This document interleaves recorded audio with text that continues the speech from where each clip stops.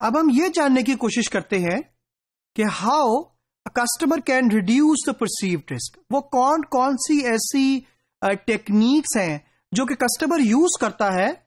अपने perceived risk को minimise करने के लिए या रिड्यूस करने के लिए। तो बहुत सारे तरीकेकार हैं जो कस्टमर यूज़ करता है। हम इसको वन बाय वन कस्टमर को यूज़ डिस्कस करते हैं। सबसे पहले इज़ द डिले परचेज जो पहला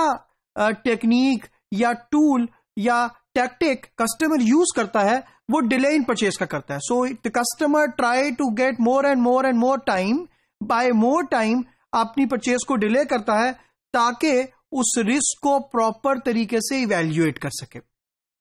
इसी तरीके से, जो दूसरी चीज़ है, वो कस्टमर इंडोर्समेंट ढूंढता है।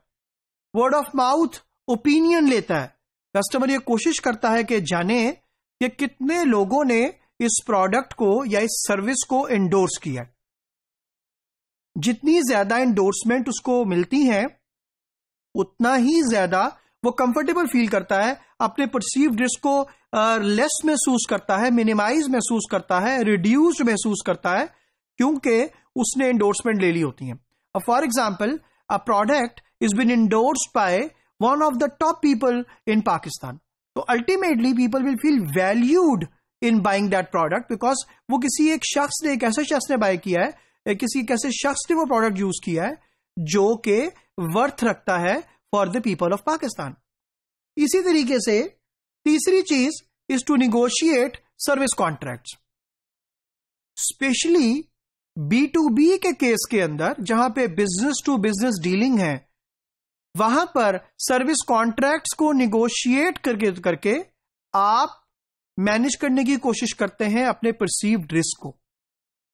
आप चाहते ही हैं कि फॉर एग्ज़ाम्पल आपने millions of millions of rupees का इक्विपमेंट बाय कर लिया। Now you try to have a contract with supplier you try to negotiate a service contract with supplier to make sure कि आपको वो प्रोडक्ट की proper services offer हो। और ultimately आपको जैसे ही इतनी ज़्यादा अरसे के लिए वो कॉन्ट्रैक्ट बाइंडिंग होगी सो आपके पास वो श्योरिटी है, वो रिस्क का लेवल कम हो जाएगा जो आपके जहन में है कि कस्टमर से अगर आपने प्रोडक्ट बाय की तो क्या होगा? फॉर एग्ज़ाम्पल आप एक प्रोडक्ट बाय करते हैं विच इज़ विदाउट वारंटी और आप एक प्रोडक्ट बाय करते हैं विच इज़ विद वारंटी तो अल्टीमेटली एक कॉमन सेंस ये कहती है कि वो प्रोडक्ट्स जिसके साथ वारंटी एसोसिएटेड है। वारंटी कार्ड भी मौजूद है। तो सर्विस एग्रीमेंट है एक्चुअली तो अल्टीमेटली कस्टमर का रिस्क इस केस के अंदर कम होगा रिड्यूस्ड होगा मिनिमाइज होगा। इसी तरीके से seeking additional information from advertising copy जो कस्टमर एक और इंपॉर्टेंट काम करता है he tries to get more information आपके मार्केटिंग मटेरियल से, आपके एडवर्टाइजिंग मटेरियल से try to seek more and more information खाली वो इंफॉर्मेशन जो आपने प्रोवाइड की है, उसके ऊपर रिलाई नहीं करता. फॉर एग्ज़ाम्पल एक कस्टमर रिप्रेजेंटेटिव ने आपको आके ब्रीफ किया, आप प्रोडक्ट बाय करना चाहते हैं, और अल्टीमेटली अब आपने कस्टमर से रिप्रेजेंटेटिव से मुलाकात के बाद, अगर आप वेबसाइट के ऊपर जाते हैं, और आप जाके उस प्रोडक्ट जो इंफॉर्मेशन आपको दी गई है, उसको रीवेरीफाई करते हैं उस इंफॉर्मेशन को एनालाइज करते हैं। सो अल्टीमेटली आप अपने रिस्क परसीव्ड रिस्क को मिनिमाइज करने के लिए जा रहे हैं। देन बाइंग स्टैब्लिश्ड ब्रांड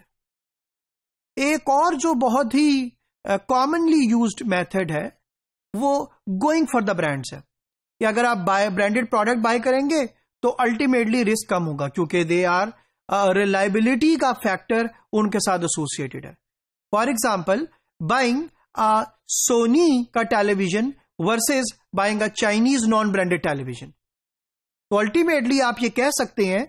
कि अगर मैं सोनी या फिलिप्स या एलजी या कोई और ब्रांड बाय करता हूँ तो मुझे रिस्क कम होगा because they are reliable brands international brands सारी दुनिया में प्रेजेंस है they have their name reputation versus एक ऐसे प्रोडक्ट की जो कि अनब्रांडेड है which is available in the market and then definitely which is unbranded तो अल्टीमेटली रिस्क लेवल बहुत हाई होगा। इसी तरीके से बिल्डिंग का relationship with supplier as well ये भी एक टेक्निक है कि जहाँ पर कस्टमर अपने परसीव्ड रिस्क को मिनिमाइज करता है। Customer try to gel in with the customer with the supplier in order to build the relationship with the supplier to make sure कि जो भी आपने प्रोडक्ट और सर्विसेज़ बाय किया है अगर कभी उसमें या करने के लिए जा रहे हैं, अगर कभी उसमें कोई प्रॉब्लम आता है तो रिलेशनशिप इस लेवल का हो कि वो आपको आपको उस प्रॉपर तरीके से सर्विसेज़ प्रोवाइड की जा सके। Then transact with reputable supplier जिस तरीके से ब्रांड्स की बात डिस्कस की, इसी तरीके से रेप्यूटेबल सप्लायर के साथ अगर आप you try to do business और यू बाय प्रोडक्ट्स और सर्विसेज़ तो अल्टीमेटली आपका परसीव्ड रिस्क कम से कम होगा, क्योंकि वो already they are having a good repute imagine if a supplier is having a very bad repute in terms of service after sale service तो अल्टीमेटली आप कभी भी उस सप्लायर से प्रोडक्ट या सर्विस को बाय करने को प्रेफर नहीं करेंगे because the perceived risk is actually very high इसी तरीके से परफॉर्मेंस गारंटीज लेना भी is one of the way way you can minimise और way you can reduce the perceived risk ज़्यादातर गवर्नमेंट की ऑर्गेनाइजेशंस में ज़्यादातर टेंडर बिजनेसेस के अंदर परफॉर्मेंस गारंटीज को सीख किया जाता है या जहाँ पर वारंटीज इन्वॉल्व हो एक्सटेंडेड वारंटीज इन्वॉल्व हो वहाँ पर इंगेज uh, किया जाता है परफॉर्मेंस वारंटीज को ताकि आप अपने परसीव्ड रिस्क को मिनिमाइज कर सके then buy with credit card so it is a kind of protection if the product gets failed. For example बहुत सारी ऑर्गेनाइजेशन ऐसी हैं कि जहाँ पर आप डायरेक्टली कैश के बजाय you go for a credit card option